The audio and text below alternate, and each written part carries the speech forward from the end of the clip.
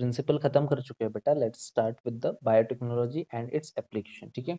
तो इसमें अपने को बहुत सारी चीज़ें पढ़ना है कि जेनेटिकली मॉडिफाइड क्रॉप्स क्या है जेनेटिकली मॉडिफाइड ऑर्गेनिजम्स क्या है treatment energy production waste treatment ये सारी चीज़ें देखना है बेटा, ठीक है? तो एक एक करके देखते हैं, मेरी भी थोड़ी एनर्जी कम कम होती जा रही है तो लेकिन इस चैप्टर को ज़रूर ख़त्म करेंगे, ठीक है? और अगर एनर्जी बची तो अपन बेटा चैप्टर नंबर थर्टीन जो है ऑर्गेनिज्म एंड पॉपुलेशन उनको भी करने की कोशिश करते हैं ठीक है? चलिए तो let start with this thing ठीक है? तो अपने को पता है बेटा इसमें मेनली uh, जो है therapeutics diagnostic genetically modified crop agriculture and bio waste treatment ये सारी चीज़ों को अपने को इसमें पढ़ना है बेटा ठीक है? प्रीवियस चैप्टर में अपन क्या देख चुके हैं कि कैसे उसके प्रिंसिपल्स है। अब इस चीज़ में एप्लीकेशन कैसे यूज़ करना है, कैसे अपन ने इंसुलिन को बनाए हैं, ठीक है? इसके अलावा ह्यूमोलिन बनाए हुए हैं बेटा अपन, ठीक है? जो मोनोक्लोनल एंटीबॉडीज होती है बेटा जीन थेरेपी एलिजा टेस्ट ये सारी चीज़ें इसको, अपने को देखना है। इसके अलावा bioethics and biopiracy जो थी, ठीक है? वो सारी चीज़ें भी देखे बेटा, देखेंगे बेटा। इसमें एग्रीकल्चरल चीज़ें जो है, जैसे बीटी कॉटन है बैसिलस थेरेंजेनेसिस इसकी वजह से एक क्राइजीन प्रोड्यूस होता है, इसके अंदर क्राई प्रोटीन होता है एंड वो गट पे जाके टॉक्सिक एक्ट करता है जो ये होता है बेटा, लार्वे होते हैं पेस्ट की, ठीक है? तो फ्लेवर सेवर टोमेटो, ठीक है? एंड गोल्डन राइस जिसमें विटामिन ए रिच्ड है तो ये सारी चीज़ें अपन इस चैप्टर में देखने वाले हैं, ठीक है? चलिए तो क्या क्या चीज़ें आने वाली एक बार इसको देख लेते हैं। राइट तो यहाँ से एक दो लाइन अंडरलाइन कर लीजिए बेटा। Three critical research area of biotechnology ठीक है? तो अपन ने क्या क्या चीज़ों में uh, इसका यूज़ करना चाहिए ठीक है बेटा? तो सबसे इम्पोर्टेंट है कि providing best catalyst in the form of improved organism usually microbe और प्योर एंजाइम ठीक है? तो बेस्ट कैटलिस्ट प्रोवाइड करेंगे जो रिएक्शन को ज़्यादा से ज़्यादा जल्दी कंप्लीट कर पाए ठीक है बेटा? Creating optimal conditions through engineering for catalyst to act ठीक है?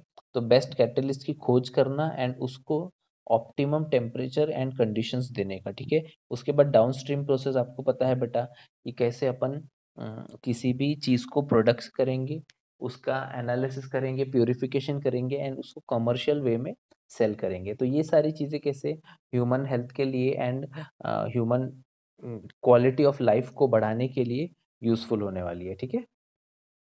तो सबसे पहले बायोटेक्नोलॉजी का एप्लीकेशन देखते हैं एग्रीकल्चर फ़ील्ड में, ठीक है?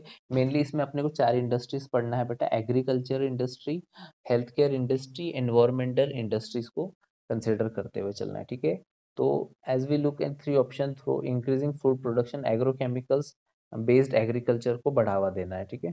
चलिए, इसके बाद ऑर्गेनिक एग्रीकल्चर मतलब आपको पता है बेटा ऑर्गेनिक फ़ार्मिंग जिसको अपन बोलते हैं इसको ऑलरेडी अपन कवर कर चुके हैं, ठीक है? Genetically engineered crop based agriculture ठीक है? तो जेनेटिकली इंजीनियर्ड क्रॉप्स जो है, जैसे आर एन साइलेंसिंग है या फिर क्राइजीन है बीटी है, इनको कैसे अपन यूज़ करेंगे? ये जो क्रॉप है, ये ह्यूमंस के लिए तो बहुत सेफ़ है, लेकिन अगर कोई लार्वा उनको खान, खाने जाएगा तो उनके मिडगट को फाड़ के वो बाहर निकल जाएगी। तो इंसेक्ट के लिए बहुत खतरनाक होती है बेटा। तो ये जेनेटिकली इंजीर्ड इंजीनियर्ड किए हैं अपन, ठीक है? एक पर्टिकुलर एंड अल्कलाइन मीडियम पे वो डैमेज कर सकते हैं इंसेक्ट के लार्वा को, ठीक है? इसके अलावा फिर जो आपका एग्रोकेमिकल फर्टिलाइजर्स एंड पेस्टिसाइड्स है, इनको किस तरह से बहुत ज़्यादा ये महँगे भी होते जा रहे हैं, इनको प्रैक्टिस करना थोड़ा मुश्किल हो रहा है नॉर्मल फार्मर्स के लिए, ठीक है बेटा? कन्वेंशनल ब्रीडिंग मेथड जो थे वो ओल्ड हो चुके हैं, अब कहीं ना कहीं minimise the use of fertiliser and chemicals that are harmful and effects of the environment can be reduce with the help of genetically modified crops, ठीक है बेटा? तो इसमें अपने को मेन आप स्टार मार्क करके लिखिए इस चीज़ को जो मैं भी बता रहा हूँ, जेनेटिकली मॉडिफाइड ऑर्गेनिजम्स, ठीक है? जब अपन ऐसे कोई कोई जैसे प्लांट है या बैक्टीरिया है या फंगा है या कोई एनिमल है, जिसके जीन को अपन ने अल्टर कर लिया है, ठीक है? तो उस उस ऑर्गेनिज्म को, उस प्लांट को बैक्टीरिया को फंगाई को या एनिमल को मैं क्या बोलूँगा? जेनेटिकली मॉडिफाइड ऑर्गेनिजम्स ठीक है बेटा? चलिए तो अब किस तरह से बनाए जाते हैं ये प्लांट्स एंड एनिमल्स इसको देखते हैं। देखिए, आप चाहते हो कि आपके जो क्रॉप्स हो, वो टॉलरेंट हो ठीक है अबायोटिक स्ट्रेसेस है। अबायोटिक मतलब जैसे कि कोल्ड है बहुत ज़्यादा ठंडी पड़ गई सूखा पड़ गया सॉल्टी सलाइन वाटर आ गया हीट आ गई। तो इन सारे सिचुएशन में भी आपके क्रॉप या आपके प्लांट्स है ये अच्छे से टॉलरेट करने चाहिए। ठीक है बेटा? तो इन त, इस तरह से उसको आप ऐसे कर सकते हो मॉडिफाई किया है अपन लोगों ने। ठीक है? इसके अलावा reduce reliance on chemical pesticide मतलब केमिकल पेस्टिसाइड्स पे ज़्यादा डिपेंडेंसी अपनी नहीं रहे, वो खुद आप ऐसे बोल सकते हो डिज़ीज़ रेजिस्टेंस बन बन पाए, ठीक है? पेस्ट रेजिस्टेंस क्रॉप हो रहे हैं ठीक है बेटा? एंड हार्वेस्ट लॉस्ट मतलब जो हार्वेस्टिंग के टाइम पे जो क्रॉप का नुकसान होता है, इसको मिनिमाइज कर पाए, ठीक है? इसके अलावा फिर आप ऐसे बोल सकते हो एफिशिएंसी ऑफ़ मिनरल यूसेज मतलब जो फर्टिलिटी ऑफ़ सॉइल है उसको बढ़ा के रखे, ठीक है? इसके अलावा जो इसमें से एमसीक्यू आएगा ही आएगा, नीट ट्वेंटी ट्वेंटी में, वो ये है बेटा कि अपन ने न्यूट्रिशनल वैल्यू ऑफ़ फ़ूड को बढ़ा दिए है। मतलब अपन ने जो गोल्डन राइस है, इसमें beta carotene and vitamin A को मिला के इसकी न्यूट्रिशन वैल्यू को बढ़ा दिया है बेटा। आपको पता है विटामिन ए की वजह से बहुत सारी बीमारियाँ होती है, colour blindness related to eyes. ठीक है बेटा? तो इसकी वजह से आप ऐसे बोल सकते हो कि गोल्डन राइस अगर अपन खाएँगे, ठीक है बेटा? तो उसमें ऑलरेडी विटामिन ए अपन ने मिला दिए है, बीटा कैरोटीन मिला दिए हैं जिसकी वजह से उसकी न्यूट्रिशनल वैल्यू बढ़ चुकी है ओके तो आपको पता है बेटा बीटी बीटी जो होता है, ये आप ऐसे बोल सकते हो शॉर्ट फॉर्म है बैसिलस थेरेंजेनेसिस का, ठीक है बेटा? तो इसके पास आप बोल सकते हो कि एक स्पेसिफिक जीन होता है, ये बैक्टीरियम जो है बीटी बैसिलस थेरेंजेनेसिस इसके पास एक जीन होता है बेटा, जिसको अपन बोलते हैं बीटी जीन एंड इसके अंदर एक स्पेसिफिक प्रोटीन होता है ठीक है? बीटी जीन या इसको क्राई जीन भी बोला जाता है। इसके अंदर होता है बेटा क्राई प्रोटीन ठीक है? एंड ये जो क्राई प्रोटीन होता है, ये आप ऐसे बोल सकते हो कि अगर ये क्राई प्रोटीन को अल्कलाइन पीएच मिल गया, जो कि उसको मिलता है कि एक लार्वा पेस्ट के कैटरपिलर के लार्वा के पेस्ट के पेट में मिलता है। स्पेशली अगर आप बोलेंगे तो मिडगट वाले एरिया में उसको मिलता है बेटा। एंड अगर वहाँ पे वो उसको अल्कलाइन पीएच मिल गया तो इसकी वजह से लार्वा ऑफ़ द इंसेक्ट जो है वो बर्स्ट हो जाता है इसमें। उसके जो मिडगट का एपिथेलियम सेल्स है, उसमें पोर्स क्रिएट हो जाते हैं, छेद क्रिएट हो जाते हैं एंड इसकी वजह से लार्वा डाइस तो कहीं ना कहीं ये जो बीटी बैक्टीरियम है बेटा, कहीं ना कहीं आप इसको बोल सकते हो कि इसको अपन ने काय में मिक्स कर दिए हैं कॉटन एंड दूसरे अलग अलग प्लांट्स के साथ इसको कंबाइन कर लिए है ताकि इसके ऊपर पेस्ट ना आए सीरियस पेस्ट जो होते हैं। ठीक है कैटरपिलर या फिर दूसरे जो पेस्ट है, जो इस कॉटन को खराब करते हैं। ठीक है बेटा तो यही चीज़ यहाँ पे बताई गई है कि कैसे अपन ने एक बैक्टीरिया को यूज़ करते हुए बहुत सारे क्रॉप्स को बचाया है, जैसे बीटी कॉटन वगैरह। ठीक है? चलिए तो ये भी आप ऐसे बोल सकते हो कि एक जेनेटिकली मॉडिफाइड क्रॉप की कैटेगरी में आ रही है। ठीक है बेटा? तो BT it is use for toxic clone ठीक है?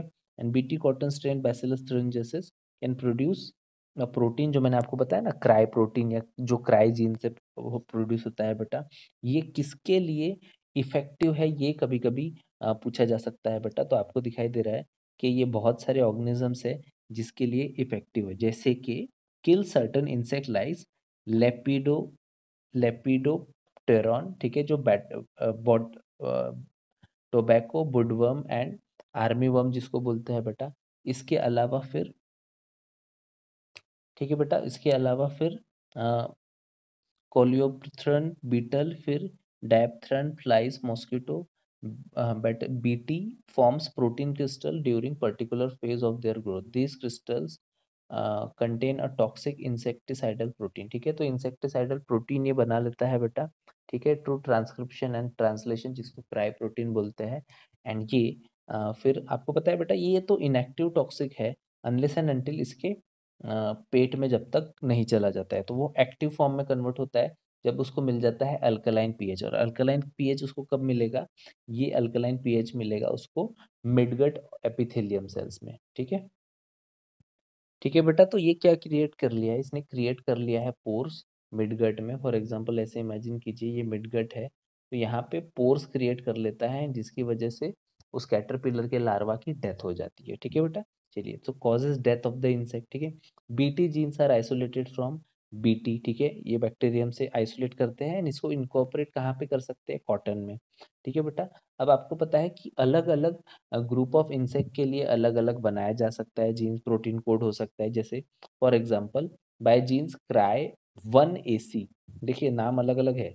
Cry one A C and cry two A B ये दो किसको रोकने के लिए बने हुए हैं बेटा, कॉटन बॉलवर्म ठीक है? तो ये जो इंसेक्ट है, कॉटन बॉलवर्म इसको रोकने के लिए दो जीन बने हैं, प्रोटीन इनकोडेड हुए हैं, cry one A C and cry two A B. दूसरा जो है, क्राई वन ए बी, ठीक है? ये जो है, कॉर्न बोरर के लिए बनाया गया है बेटा, है ना? तो आपको दिखाई दे रहा है बेटा, ये जो है, डिस्ट्रॉयड बाय बॉलवर्म है, ठीक है बेटा? यहाँ पे भी छेद हो चुका है। लेकिन ये वाला जो है सही सलामत है, बचा हुआ है, ठीक है? तो फुल्ली मैच्योर कॉटन बॉल है ये, ठीक है? तो जैसे कि आपको दिखा रहा है, दिखा दे रहा है बेटा कि पेस्ट रेजिस्टेंस प्लांट अपने को अपन ने बनाया है। यूजिंग वॉट देखिए सेवरल नेमाटोडा होता है बेटा।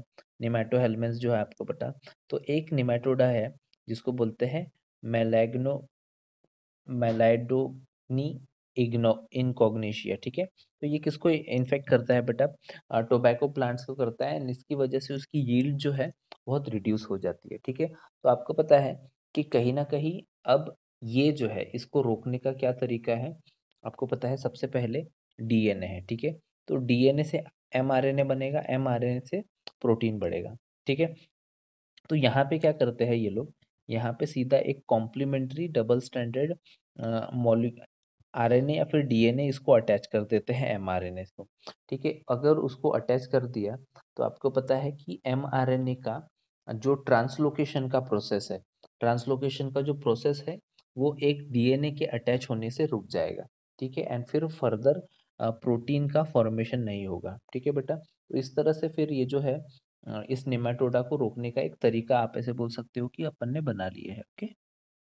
ये तरीका अपनाया गया है बेटा कि ये जो निमेटोडा है, इसकी पॉपुलेशन को कंट्रोल करने के लिए या कम करने के लिए अपन ने क्या किए हैं कि उसके एम आर में आप बोल सकते हो डीएनए को डबल स्टैंडर्ड आरएनए या डीएनए को जोड़ दिए है बेटा, ठीक है?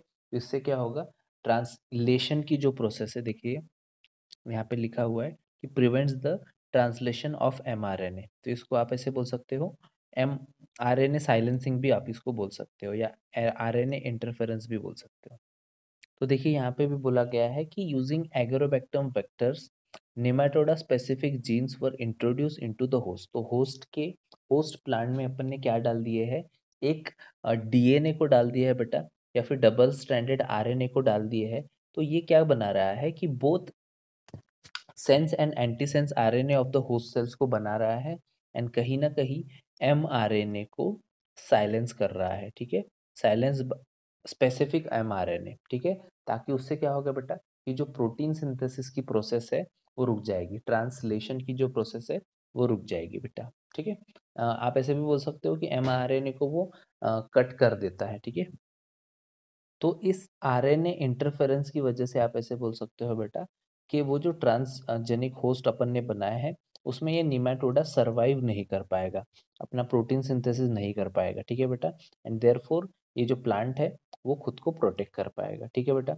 यहाँ पे आपको दिखाई दे रहा है बेटा कि ये जो है टिपिकल कंट्रोल प्लांट्स है, ठीक है? Transgenic plant roots after five days ठीक है? तो इस तरह से आप बोल सकते अब आ चुके हैं बेटा एग्रीकल्चर को खत्म कर चुके हैं अपन। अब बायोटेक्नोलॉजी का यूज़ क्या है? मेडिसिन में। इस चीज़ को देखते हैं। तो बहुत बड़ा इम्पैक्ट डाला है बायोटेक्नोलॉजी ने हेल्थ केयर सेक्टर पे, ठीक है बेटा? And safe and effectively therapeutic medicine and drugs को बनाया है, ठीक है? अगर आप बोलेंगे पूरे वर्ल्ड में thirty recombinant therapeutic drugs available है बेटा, ठीक है? जिसमें से आप ऐसे बोल सकते हो कि प्रेजेंटली बारह ही इंडिया में मार्केट की जाते हैं, ठीक है? चलिए तो इसके अलावा थर्टी टोटल बने हैं ऐसे। रिकॉम्बिनेट डीएनओ टेक्नोलॉजी का यूजेस करके थेरापेटिक ड्रग्स लेकिन इसमें बारह ही मार्केट की जाती है इंडिया में ओके नेक्स्ट जो इम्पोर्टेंट चीज़ है बेटा that is insulin genetically engineered insulin ठीक है? तो इसको इससे रिलेटेड थोड़ी बहुत साइंटिस्ट uh, के नाम अपन याद रख लेते हैं बेटा जैसे सबसे पहले फ्रेडरिक सेंगर इस व्यक्ति ने इस साइंटिस्ट ने आप ऐसे बोल सकते हो कि अमाइनो एसिड का जो सीक्वेंस था इंसुलिन का उस चीज़ को दिया था फ्रेडरिक सेंगर ने, ठीक है बेटा? एल ये एक पहली यूएसए की फार्मास्यूटिकल कंपनी थी कि जिसने नाइनटीन फिफ्थ जुलाई 1983 को ह्यूमुलिन जो है इसको ह्यूमोलॉग एनालॉग करके ये था बेटा, इंसुलिन का एक मॉडिफाइड फॉर्म था। जो कि मैन मेड था, ठीक है? तो ह्यूमुलिन था, इसको ह्यूमोलॉग भी बोलते थे, ठीक है? इसके अलावा बेंटिंग एंड बेस्ट ये दो साइंटिस्ट ने मिलके आइसोलेट किया था इंसुलिन को फ्रॉम पैनक्रियाज ऑफ़ डॉग ठीक है? तो ये दो तीन इंफॉर्मेशन है जो आप याद रख लीजिए बेटा, ठीक है? चलिए तो इंसुलिन फ्रॉम अदर एनिमल्स भी निकाला जा सकता है आइसोलेट किया जा सकता है, जैसे मैंने आपको बताया था बैंटिंग एंड बेस्ट ने बेटा इंसुलिन को डॉड डॉग के पैनक्रियाज में से निकाला था, ठीक है? इसके अलावा लार्ज क्वांटिटी में बनाया जा सकता है bacteria and make a much of insulin unit ठीक है? तो आपने बताया बेटा इसमें अपन ने देखे थे कि जो बायो रिएक्टर्स थे, इनमें अगर अपन ने इनोकुलम डाल दिया तो हाई इस पर अपन इंसुलिन का प्रोडक्शन कर पाते हैं ओके तो आपको बताया बेटा नेचुरली जो इंसुलिन है, वो beta cells of islet of Langerhans of pancreas में से रिलीज़ होता है बेटा, ठीक है? ठीक है? ये जो इसका जो इनएक्टिव फॉर्म है, जैसे कि आप देख पा रहे हैं कि अगर ये maturation of pro insulin into insulin करना है आपको, ठीक है? तो सबसे पहले आपको सबसे पहले इसमें लेना पड़ेगा एक बी स्ट्रैंड ठीक है? तो जैसे कि आप देख पा रहे हैं कि यहाँ पे नीचे साइड में क्या है? ये हो गया बी स्ट्रैंड ठीक है बेटा? ये जो है, ये हो गया ए स्ट्रैंड एंड इसको जो जोड़ने वाला है इन दोनों को ये हो गया सी स्ट्रैंड ठीक है बेटा? तो आप ऐसे बोल सकते हो इसको अगर आप स्ट्रेट लाइन में देखने की कोशिश करेंगे तो ये है ए ये है बी और इन दोनों के बीच में है सी दिखाई दे रहा है? तो ये हो गया ए ये हो गया बी और इन दोनों को एक्टिव बनाने के लिए इन दोनों के बीच में आ, आप ऐसे बोल सकते हो पेप्टाइड लिंकेज होना चाहिए बेटा, ठीक है? And peptide link polypeptide linkage होना चाहिए इनके बीच में ठीक है? तो डाइसल्फाइड बॉन्ड्स भी होने चाहिए इनके बीच में, ठीक है? डाइसल्फाइड बॉन्ड की वजह से ही वो एक्टिव होता है। एंड इसको करने का काम आप ऐसे बोल सकते हो कि सी चैन की ज़रूरत होती है बेटा, ठीक है? तभी जाके वो एक्टिव फॉर्म होता है। एंड ये दोनों आप आसपास में आते हैं ए और बी ठीक है बेटा? अगर आप चेन ए की बात करेंगे तो उसमें होते हैं ट्वेंटी वन अमाइनो एसिड्स। ये जो चेन ए है, इसमें होते हैं twenty one amino acids and chain B जो होती है बेटा, इसमें होते हैं थर्टी अमाइनो एसिड्स। एंड ये फिर एक्टिव फॉर्म में कन्वर्ट हो जाते हैं एंड करते हैं, ठीक है? चलिए इस चीज़ को देख लेते हैं। सी ठीक है? C peptide is not present in mature insulin it is remove during maturation ठीक है बेटा? तो मेन जो है, वो ए और बी ही होते हैं। सी ने क्या किया है? आप इसे बोल सकते हैं, इन दोनों को जोड़ने का काम और इनके बीच में डाइसल्फाइड बॉन्ड्स बनाने का काम उसने किया है, ठीक है? चलिए तो इतना अपन समझ गए। देखिए तो क्लियर कट यहाँ पे लिखा हुआ है बेटा कि chain A and chain B are link together by disulphide bridges, ठीक है? Which extra stretch like C removed peptide not present in mature incident तो सी बाद में निकाल दिया जाता है निकल जाता है, ठीक है? तो जैसा कि मैंने बताया था बेटा एल लिली एक अमेरिकन कंपनी थी, जिसने फिफ्थ जुलाई 1983 को इंसुलिन का जो फॉर्म है ह्यूमोलिन इसको इंट्रोड्यूस किया था मार्केट में, ठीक है बेटा? इसके अलावा chain A and chain B produce separately extracted and combined creating disulphide bond तो चेन ए सेपरेटली एक्सट्रैक्ट करते हैं चेन बी सेपरेटली एक्सट्रैक्ट करते हैं एंड इनको फिर बाद में जोड़ दिया जाता है, ठीक है? तो ये हो गया ए ये हो गया बी और इनको जोड़ने वाला है सी ठीक है बेटा? चलिए तो इतना समझ गए। देखिए बेटा, अब आ चुके हैं अपन जीन थेरेपी पे। किस तरह से जीन थेरेपी का मतलब बायोटेक्नोलॉजी का यूज़ अपन जीन थेरेपी में भी कर सकते हैं, ठीक है बेटा? तो हेरिडेटरी डिज़ीज़ होती है बहुत सारी एंड इसमें भी जीन थेरेपी दे सकते हैं, लेकिन इसमें आप ऐसे बोल सकते हो कि ये जो ट्रीटमेंट होना अगर आपको परमानेंट इलाज चाहिए तो इसको आपको एम्ब्रियोलॉजिकल स्टेज में ही देना चालू करना पड़ेगा बेटा, ठीक है? तो चाइल्ड एम्ब्रियो में डायग्नोस हो चुका है अपने को, कोई डिफेक्ट, जीन डिफेक्ट है, जैसे कि अपने को पता है बेटा एमनियो सेंटेंसेस करते हैं अपन, उसमें क्रोमोजोमल डिसीजेस या फिर बहुत सारी ए डी ए डिफिशेंसी या बहुत सारी अदर डिजीजेस भी पता चल जाती है बेटा। तो इन सारी चीज़ों को एम्ब्रियो, एम्ब्रियोलॉजिकल स्टेज में ही या फिर इनिशियल डेज़ ऑफ़ लाइफ में ही करेक्ट किया जा सकता है, ठीक है? देखिए बेटा तो अपन इसका फ़र्स्ट केस देखते हैं कि क्या हुआ था करके। तो आपको दिखाई दे रहा है कि ये जो है, एक फीमेल थी, एक चार साल की बच्ची थी 1990 की बात है। इसको एक प्रॉब्लम हो गई थी कि इसका जो ब्रोन मैरो के से, जो सेल्स है, ये बोन मैरो के सेल्स एक स्पेसिफिक एंजाइम बनाते हैं बेटा जिसको अपन बोलते हैं एडीए एंजाइम ठीक है? जिसका नाम है एडिनोसिड डाइअमाइज अमाइनेस ठीक है? एडीए एंजाइम ये एडीए एंजाइम अगर बना तो उसकी वजह से आप ऐसे बोल सकते हो कि बी एंड टी लिम्फोसाइट का प्रोडक्शन होता है which are going to provide humoral immunity and cell mediated immunity अगर ये cell mediated immunity and humoral immunity रहेगी तो थर्ड लाइन ऑफ़ डिफेंस बनने वाला है बेटा। लेकिन अगर ये एंजाइम नहीं बना तो ना बी एंड टी सेल्स बनेंगे और बेबी जो बनेगी, वो विदाउट इम्यूनिटी सिस्टम बनेगी। तो ये जो बीमारी हो गई है, इसको आप बोल सकते हो बेटा severe right severe combined immunodeficiency आप इसको बोल सकते हैं, जिसको टेक्निकली स्किड भी बोला जा सकता है। तो ये इसकी वजह से आप ऐसे बोल सकते हो कि बहुत बड़ी प्रॉब्लम हो गई थी। अब इसको सॉल्व कैसे किए थे कि इन लोगों ने क्या किए थे कि ये जो एडीए का एंजाइम था, उसको लिम्फोसाइट में इन्फ्यूज़ कर दिया था एंड इन्फ्यूज़ कर दिया था bone marrow of the patient में, ठीक है? तो a ADA enzyme was synthesise by the bone marrow and immunity system बढ़ गया था फिर, ठीक है बेटा? तो ये जो था ए एडीए एंजाइम को इन लोगों ने क्या किया था टेक्निकली एडियो एंजाइम को प्रोड्यूस किया था एंड इसको डाल दिया था लिम्फोसाइट में। और ऐसे लिम्फोसाइट्स को वापस से कहाँ डाल दिया था बेटा? बोन मैरो में डाल दिया था। तो इसकी वजह से फिर उसका नॉर्मल लिम्फोसाइट जो प्रोडक्शन था वो चालू हो गया था, ठीक है? तो इसी चीज़ को अपन ने क्योर किए थे with the help of gene therapy, ठीक है? चलिए तो इसको देखते हैं क्या चीज़ें हो सकती है बेटा, ठीक है? इसमें और सारी चीज़ें से टेम्प्ररी इलाज है, परमानेंट इलाज है, ओके? देखिए तो जैसे कि दिखाई दे रहा है बेटा आपको, यहाँ पे क्या बोल रहा है clinical stage of gene therapy was given in 1990 to a four year gold girl adenosine deaminase which is deficiency ठीक है?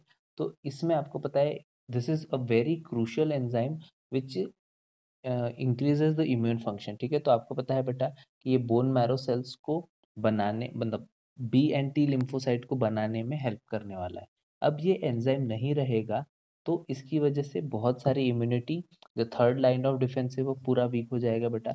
अब इसमें आप ऐसे बोल पा रहे हो कि इसमें क्या ट्रीटमेंट दिए थे अपन ने? इसमें दिए थे बेटा बोन मैरो ट्रांसप्लांटेशन तो एक टेम्पररी इलाज है बेटा एंड एंजाइम रिप्लेसमेंट थेरेपी ये भी टेम्पररी हो जाएगा। हाँ इसका परमानेंट इलाज क्या बोल सकते हो? कि such genetically engineer lymphocyte should be isolated in the bone marrow and production of ADA is introduced into the cell of embry, early embryonic stage. तो अर्ली एम्ब्रियोनिक स्टेज में अगर इसको दिए रहते हैं, जब वो बच्चा एम्ब्रियो में है या इनिशियल डेज़ ऑफ़ लाइफ में है, तब ये ट्रीटमेंट अगर दिए रहते हैं लिम्फोसाइट का infusion into the bone marrow तो ये परमानेंट इलाज हो गया। ये दोनों भी आप ऐसे बोल सकते हो। These are not completely curable मतलब परमानेंट इलाज नहीं है टेम्पररी इलाज था बोन मैरो ट्रांसप्लांटेशन में या फिर एंजाइम रिप्लेसमेंट थेरेपी भी, ठीक है बेटा? अब पहुँच चुके हैं बेटा मॉलिकुलर डायग्नोसिस इसमें से भी एक आधी क्वेश्चन आ जाता है कभी कभी एलिसा के ऊपर या पीसीआर के ऊपर आ जाता है बेटा, ठीक है? तो इसको थोड़ा सा डिटेल में देखने की कोशिश करते हैं कि क्या बोलने की कोशिश कर रहा है, ठीक है बेटा? चलिए तो देखते हैं बेटा, यहाँ पे क्या बोल रहा है कि right effective treatment of disease मतलब कैसे अपन डायग्नोसिस करके इफ़ेक्टिव ट्रीटमेंट ऑफ़ डिज़ीज़ दे पाते हैं। जैसे मैं बोल रहा हूँ कि कोई कंक्लूजन पे भी पहुँच सकते हैं। जैसे मैं बोल रहा हूँ कि पॉलीमरेज चेन है। आपके पास एक सिंगल ड्रॉप ऑफ़ ब्लड है खूनी की एंड आप चाहते हो कि खूनी को अपन पकड़ पाए, ठीक है? जैसे फॉर एग्जांपल कई होता है कि मर्डर के आसपास ब्लड के ड्रॉप एक गिर जाता है खूनी की। तो एक सिंगल ड्रॉप से मल्टीपल ड्रॉप्स बना सकते हैं अपन बेटा बाय पॉलीमरेज चेन रिएक्शन में अभी अभी बताया आपको कि कैसे डीनेचुरेशन देन अंडरलिंग ये सारी चीज़ें होती है बेटा, ठीक है? तो ये अपन कर सकते हैं पीसीआर टेक्निक ठीक है बेटा? इसके अलावा एलिसा का फुल फॉर्म भी बहुत इंपॉर्टेंट है बेटा। एलिसा का फुल फॉर्म क्या होता है? एंजाइम लिंक्ड एम्यूनोसॉर्बेंट ऐसे ठीक है बेटा? तो ये दिया हुआ है एंजाइम लिंक एम्यूनोसॉर्बेंट ऐसे ठीक है? अब ये टेक्निक यूज़ कैसे करते हैं? ठीक है, थोड़ी देर में आएगा ELISA is based on the principle of antigen and antibody reaction ठीक है बेटा? अच्छा इसको जो देने वाले साइंटिस्ट थे इन्होंने 1971 में Weemen Schuurs and Engvall and Perlmann इन दो टीम्स ने मिलके एलिजा टेस्ट को दिया था। इतना इम्पोर्टेंट नहीं है, आप भूल सकते हैं इसको, ठीक है बेटा? चलिए तो एक छोटी सी ट्रिक मैं आपको दे देता हूँ कि कैसे आप काम करते हैं इसमें, जैसे मैं बोल रहा हूँ। एलाइजा टेस्ट जो है बेटा, सिंपल एंटीजन एंटीबॉडी टेस्ट है, ठीक है बेटा? तो आप ऐसे बोल सकते हो कि इसमें क्या करते हैं कि एक टाइटर होता है, एक प्लेट होती है इसमें, एंड सीरम को उसमें डाल दिया जा सकता है। सबसे पहले इसमें ना एंटीजन डाल देते हैं। तो आपको पता है इसमें जी पी वन ट्वेंटी नाम का एक एंटीजन डाल देंगे। इसके सरफेस पे, इसके वॉल पे, जो कि आपको यहाँ पे दिखाई दे रहा है। एक, दो, तीन और ये चार डाल दिया।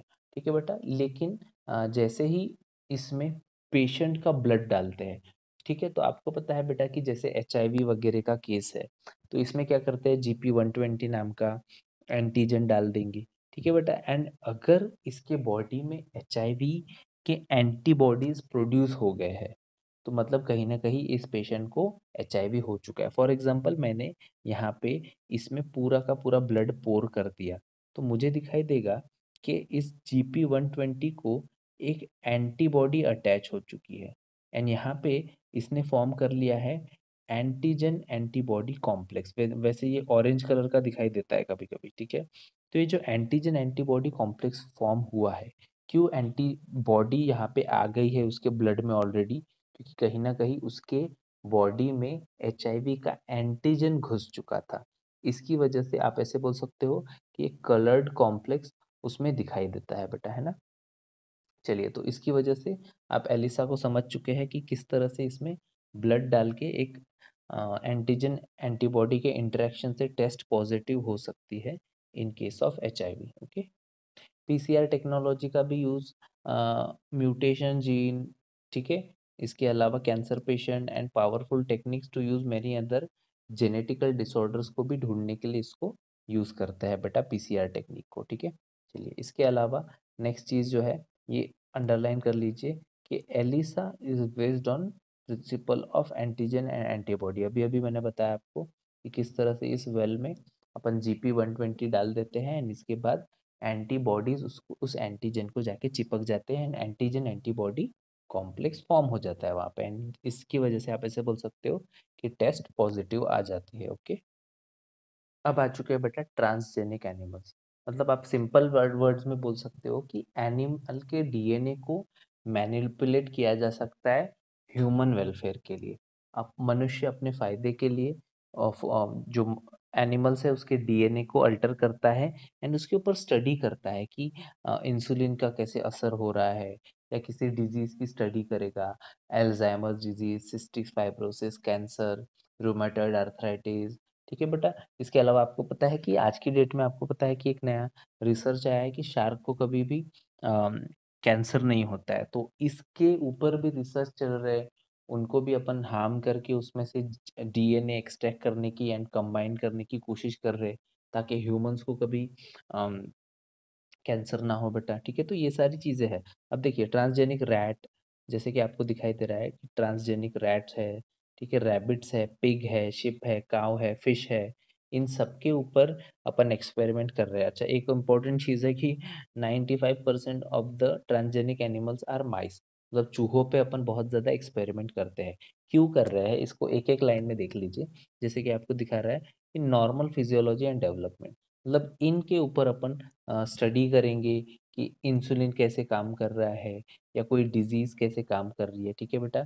जीन्स किस तरह से इफ़ेक्ट हो रहे हैं कोई डिज़ीज़ के पैथोजन की एंट्री के बाद एंड इसके बाद कौन सी मेडिसिन दिए बाद वो अच्छा रिस्पॉन्ड कर रहा है, ठीक है बेटा? इसके अलावा फिर स्टडी ऑफ़ डिज़ीज़ जो बोल रहा मैंने, ठीक है?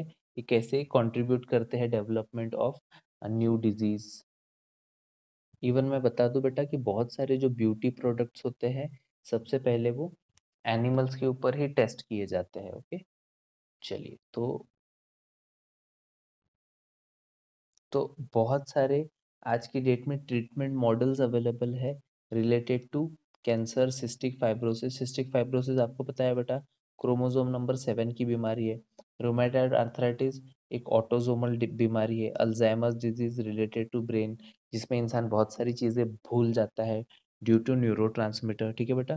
चलिए, इसके अलावा बायोलॉजिकल प्रोडक्ट्स है, जैसे कि मेडिसिन है, ये दो तीन नाम आप याद रख लीजिए इसमें, कि जैसे कि डीएनए और जीन इसमें फिर human protein in one alpha antitrypsin ठीक है बेटा?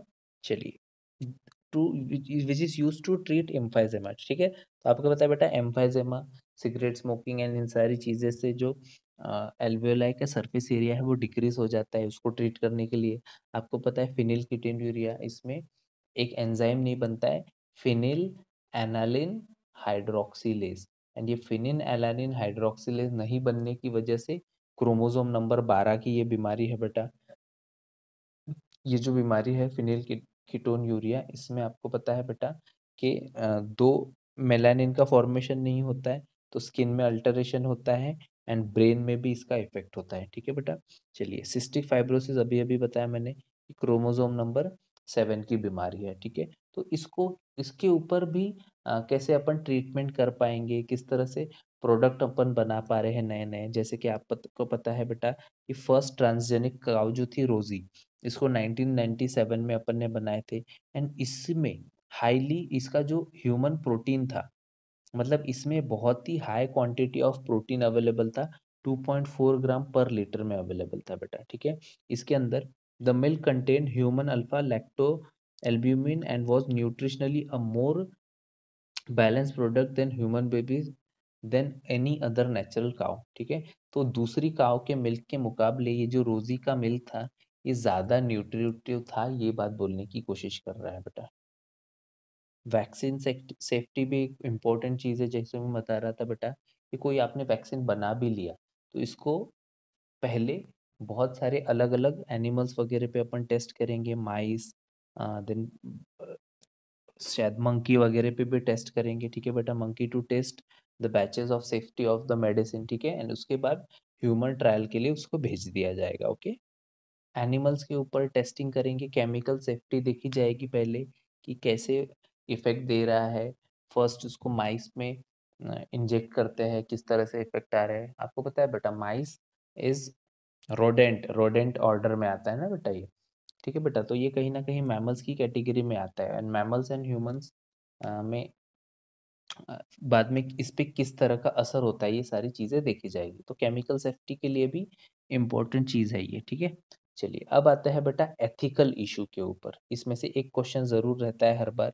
ये तो बहुत बार आ चुका है GEAC genetical engineer approval committee मतलब जेनेटिकली मॉडिफाइड जो ऑर्गेनिज्म रहते हैं, उनको परमिशन देना कि ये सेफ़ है ये नहीं है, इसका यूज़ कीजिए या नहीं कीजिए, ये सारी चीज़ें इसमें आती है बेटा। ठीक है तो ये एथिकल इशू है, इसमें अपन बायोपायरेसी ये सारी चीज़ें भी देखेंगे। इसको आप याद रखेंगे जेनेटिकली मॉडिफाइड जो ऑर्गेनिजम्स है, इनको पब्लिक सेफ्टी के लिए सर्व सेफ़ है, नहीं है, ये सारी चीज़ों का अप्रूवल जीईएसी देती है जेनेटिकली इंजीनियर अप्रूव्ड कमेटी आपको है बेटा कि बहुत सारी कंपनीज़ ऐसी है कि जो पेटेंट की हुई चीज़ों को भी पेटेंट कर देती है या फिर ऐसी चीज़ें जो एक पर्टिकुलर रीजन की होती है, लेकिन without giving the royalty to that चीज़ें। जैसे फॉर एग्जांपल मैं बोल रहा हूँ कि एक एक इस तरह से समझते हैं कि जैसे फॉर एग्जांपल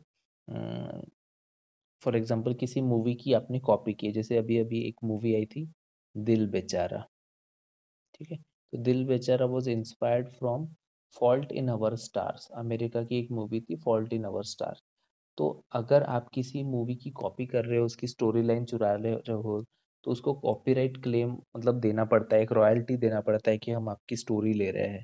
ठीक है, लेकिन बहुत सारे लोग ऐसा नहीं करते, कॉपी करते हैं किसी भी वेजिटेबल का, राइस ब्रांड का या किसी भी चीज़ का and without giving royalty to the actual who created it. ठीक है बेटा? तो इसकी वजह से पब्लिक एंगर आज की डेट में बहुत बढ़ते जा रहे हैं एंड फार्मर्स जो इंडिजिस ने, पीपल जिन्होंने उस चीज़ को डेवलप किया है, इनको रॉयल्टी नहीं मिलती है, ठीक है? तो ऐसे ही एक बहुत अच्छा मतलब केस हुआ था कि अपने पास इंडिया में दो लाख से भी ज़्यादा वैरायटी है बेटा राइस की and twenty seven documented varieties India में ग्रो की जाती है बासमती की, लेकिन 1997 में अमेरिकन की एक कंपनी थी जिसने बासमती राइस को पेटेंट किया था, कहाँ पे? Through US patent trademark office, ठीक है? एंड इसने बोला था कि ये एक न्यू बासमती राइस की ब्रांड की वैरायटी है बट जो है, जिसको अमेरिका ने डेवलप किया है, ठीक है? लेकिन दैट वाज इंडिजिनियसली ओरिजिनली ये जो थी, एक्चुअली उधर की नहीं थी ये जो थी इंडिया में ही बहुत सालों से उगाई जाती थी ठीक है? तो बाद में इसका आ, अपन लोगों ने इसका केस किया था एंड अपन जीते भी थे। ये क्वेश्चन भी बार बार आता है बेटा कि बासमती राइस की ट्वेंटी सेवन वराइटी में से एक वैरायटी के ऊपर यूएसए ने क्लेम किया था लेकिन अपन ने फिर आ, क्लेम किए थे वापस से एंड ये अपन जीते भी थे ठीक है बेटा? चलिए तो कॉम्पनसेटरी पेमेंट भी मिला था अपने को, ठीक है? बेटा चलिए, इसके अलावा फिर बहुत सारी अलग चीज़ें हैं, जैसे कि टर्मरिक नीम है, ठीक है? ट्रेडिशनल हर्बल मेडिसिन है turmeric neem village we do not immediately counter the patent application तो पेटेंट पेटेंसी को अपने को ध्यान देना पड़ेगा कि किस तरह से अपनी जो चीज़ें हैं। अंडर डेवलप कंट्रीज़ जो होती है ट्रेडिशनल नॉलेज में बहुत ज़्यादा अच्छी होती है बेटा, कि जो डेवलप कंट्रीज़ होती है, भले ही वो डेवलप है, लेकिन उनका जो ट्रेडिशनल नॉलेज है हर्ब्स का एंड इन सारी चीज़ों का एंड राइस ब्रांड का एंड बहुत सारी चीज़ों में ये बहुत पीछे होते हैं ठीक है? चलिए नेक्स्ट चीज़ पे आता है बेटा बायो पायरेसी इसके ऊपर भी क्वेश्चन बा, बार बार आता है। कभी कभी तो एक टाइम ऐसा था बेटा लास्ट ईयर में कि इस एक पेज में से ही दो एमसीक्यू आ गए थे। इस पेज में जो इस वक्त पेज है ना अपन टू वन फोर पे इसमें से ही दो एम आ गए थे ठीक है? चलिए तो बायो पायरेसी में आता है बेटा। बायो पायरेसी का सिंप्लीफाइड मतलब है कि it is the term use to refer bio resources by multi national companies and other organisation without proper authorisation from countries people concern without their compensatory payment तो compensatory payment भी नहीं देते और इनके किसी चीज़ को यूज़ कर लेता है, ठीक है? तो यहाँ पे एक एक और चीज़ अच्छे से लिखी हुई है। इस इस डेफिनेशन को आप स्टार मार्क कर लीजिए बेटा, इस चीज़ को, ठीक है? इसके अलावा फिर एक और चीज़ है कि अंडर डेवलप कंट्रीज़ भले ही रिच ना हो, लेकिन जो उनका जो ट्रेडिशनल नॉलेज होता है, वो बहुत ज़्यादा अच्छा होता है बेटा, ठीक है? Developing countries under develop countries is rich in biodiversity and traditional knowledge related to bio resources ठीक है बेटा? तो इन दो तीन चीज़ों को अपन यहाँ पे याद रखेंगे, ठीक है? चलिए तो इतना अपने समझ गए एंड बहुत सारे धीरे धीरे लॉ भी बनते जा रहे हैं आज की डेट में पेटेंसी लॉ एंड एवरीथिंग ठीक है developing laws to prevent such authorise ठीक है तो इंडिया भी इसमें बहुत सारा ये कर रही है इंडियन पेटेंट बिल एंड बहुत सारे रिसर्च आ रहे हैं अमेंडमेंट आ रहे हैं बेटा इसमें ठीक है तो ये भी एक अच्छा इनिशिएटिव है ठीक है बेटा चलिए तो we have finished with this देखते हैं इकोलॉजी का कुछ बनता है मेरे से तो मैं ट्राई करता हूँ बेटा ठीक है वीडियो को लाइक सब्सक्राइब शेयर कर, दीजिए बेटा थैंक यू